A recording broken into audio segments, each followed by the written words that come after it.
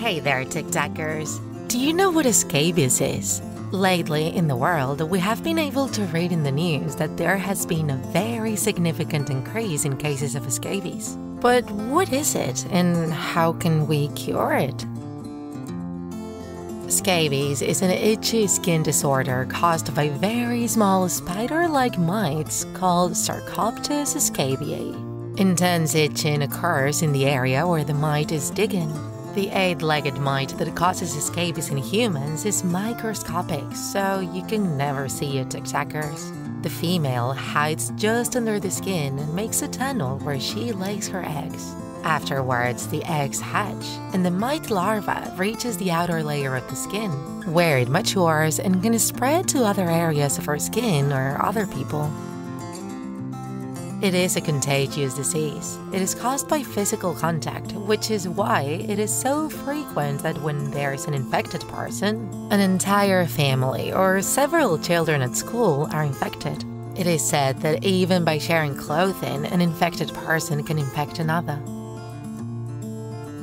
And how can we know if we have it? The most frequent symptoms are severe itching, especially at night, and the appearance of several pimples or reddish welts that later, if we scratch, can become wounds or scabs. In adults and children, any part of the body can be affected, but it most commonly appears between the fingers, in the armpits, around the waist, on the inside of the wrists, inside elbows, bottom of feet, around the breasts, buttocks, knees, and around the male genital area.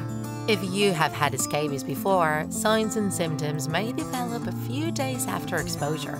However, if you have never had scabies, they may take up to six weeks to appear. And very importantly, we can infect other people even when we don't have any symptoms yet. However, we have good news. It can be treated easily.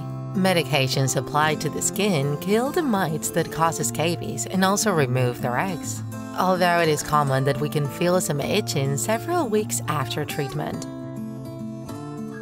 You have probably heard of scabies in animals, but in this case, animals and humans are affected by different species of mites.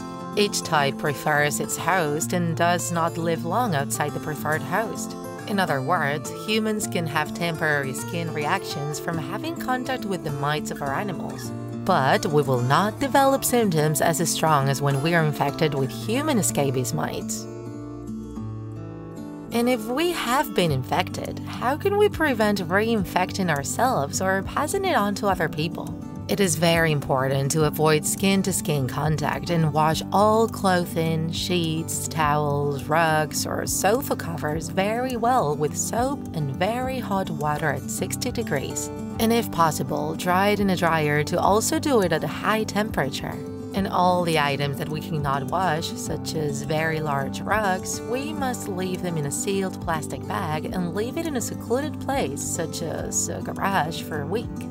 The mites die after a few days without food. This will ensure that there is no danger or reinfection.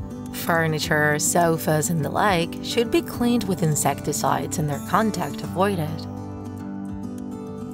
When there is an infected person in a home, it is recommended to treat all the cohabitants preventively.